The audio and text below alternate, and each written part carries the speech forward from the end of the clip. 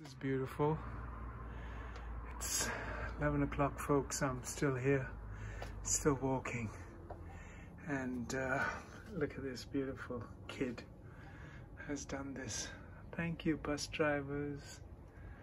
Lovely. Isn't that beautiful? Yes.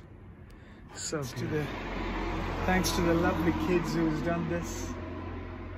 Thank you, bus drivers of London, taking us safely around the city. And uh, you've done so much hard work. Here I am, not taking the bus, but not recognized by anybody at this bus shelter.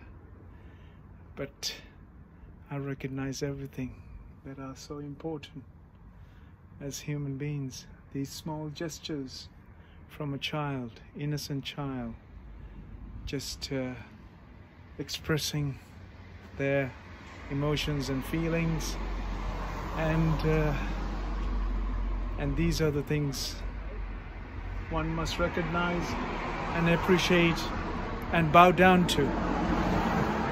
These children who are innocent must always be taken care of, and it is in our hands as adults that we create an atmosphere that is pleasant, that is safe, that is joyful, and more importantly, it's safe and clean and uh, livable experience for these children so they could so they could experience the same world that we enjoyed Thank you. Thank you to the kid. Thank you to the bus drivers. Thank you to the parents who brought up this kid. There's a driver who is just smiling with me. there we are, folks.